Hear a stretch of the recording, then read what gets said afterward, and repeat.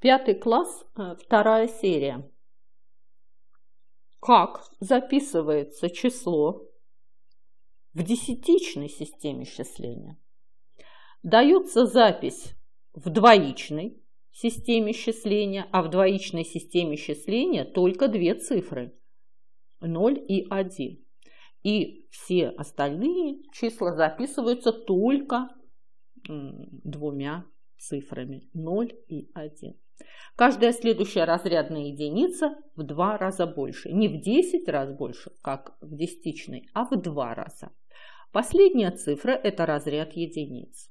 Предпоследняя – не разряд десятков, а разряд двоек в двоичной системе счисления. Каждая следующая разрядная единица в два раза больше.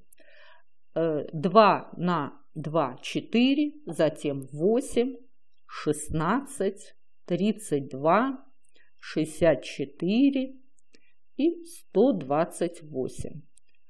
Чтобы записать это число в десятичной системе счисления, нам нужно сложить один раз по 128, один раз по 64, один раз 16, один раз по 8, одна двойка и еще одна единица.